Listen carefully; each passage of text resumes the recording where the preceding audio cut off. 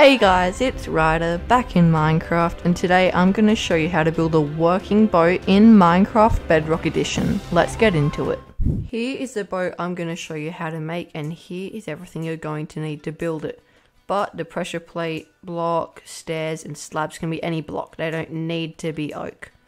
Anyways, to move forward all you need to do is go here and stand under pressure plate and if you look at the side we are moving forward. Over here I have an exact replica of that boat over there except without any of the command block or redstone stuff. Except the cool thing about this tutorial is that you can build this with any boat you want and it will still work the exact same. It can be as big or as small as you want but it is stuck to one block a second so I wouldn't suggest building it for humongous boats. First thing you want to do is figure out whether you're facing north or south. The way you do that is by seeing if your first coordinate goes up or down when you move forward. Here I move forward and it gets smaller because it's a minus number and minus numbers getting bigger means the number is actually getting smaller so I'm facing south. Remember this because this will be important for later. Then you want to place your pressure plate. Here I'm going to skip three blocks and place it here. So back here I've got a seven block wide gap so I have enough room for the piston. Now I'm going to skip two blocks and place the piston with two blocks in front of it. Then I'm going to place a block here and place redstone dust on top of it. Then I'm going to place redstone dust on top of this block as well. Break this block and this block and I'm going to place a block here and there and I'm to place redstone dust on top of both of them. And then I'm to come down here and link it up to the pressure plate for now. After I finish linking it up, when I step on the pressure plate, it should push the pistons forward. Now I'm to quickly cover this up by placing a few blocks here, but you don't want to place it here because that'll block the redstone. Here it is perfectly fine to do it, but to fix it here you just want to place an upside down stair so it looks like a block but it still lets the redstone pass through. Then you can just cover it up the back here as well. And then I'm just going to place a few slabs on top. So now you can't see any of the redstone. Now I'm going to come under the pressure plate and break this line of redstone here. I'm going to leave it there and place a block of redstone there. Then I want to come under the pressure plate and place a command block. Then I'm going to break a block next to the pressure plate and break a block underneath it, sort of like that. Then I'm going to place redstone dust, break these two blocks, place a block here, and I'm going to place a repeater and I'm going to put it on 4 ticks delay. Then I'm going to crouch and place an observer going into that. Then I'm going to place a block there, two redstone dust here, and then I'm going to place another repeater on 4 ticks delay. Now everything is done except for the command block. As you can see, when I step on the pressure plate, the piston still activates, which is a bit of a delay, but that will be helpful later. Now we're going to do the command. So we want to do is write clone space and we're going to go out of it and now this is the part where you customize it for your boat. So first of all, we are going to go forward and to the right. Oh, it just started raining.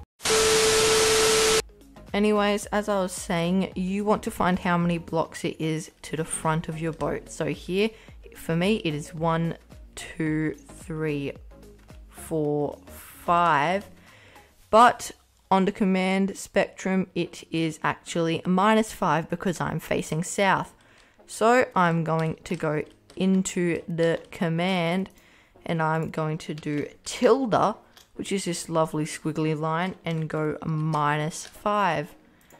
Now I'm going to figure out how deep it is but this is from the command block. So it is only, if I can fit down here, one, two blocks. So I'm going to go tilde minus two. Now I want to find out how many blocks it is to the side from the command block. So it is one, two, three, four. So we're going to go in here and go tilde minus four. but for yours, you do whatever it is. So if to the front it is 100 blocks, you would do tilde 100, or if it's just two blocks, you do tilde 2. This is the customizable bit.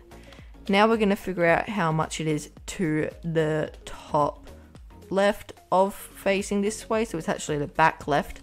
So from the command block, which is here, to the back, it is 1, 2, 3, 4, 5, 6, 7, 8, 9, 10, 11, 12, 13, 14, 15, 16 blocks. So I want to go in here, and because it's positive this time, I am going to go in here and go tilde 16 without the minus.